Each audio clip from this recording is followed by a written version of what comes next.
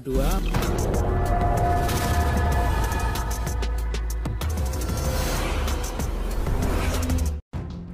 Hujan deras yang mengguyur Kabupaten Purworejo, Jawa Tengah mengakibatkan banjir dan tanah longsor di beberapa titik, ratusan warga dievakuasi ke tempat yang lebih aman.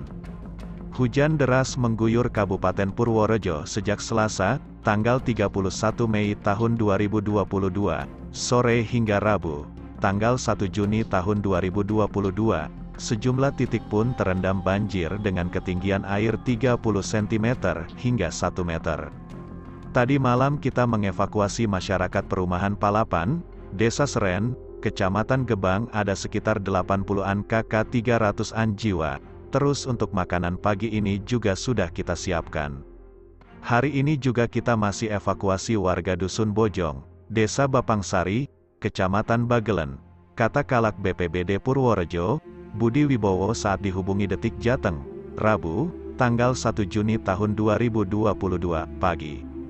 Sampai saat ini petugas juga masih terus mendata berapa jumlah total desa yang terdampak banjir. Selain banjir, hujan deras juga menyebabkan pohon tumbang serta beberapa titik longsor. Beruntung, tidak ada korban jiwa dalam peristiwa itu, petugas mengevakuasi warga terdampak banjir Purworejo. Baru dilakukan pendataan ada berapa desa yang terdampak banjir.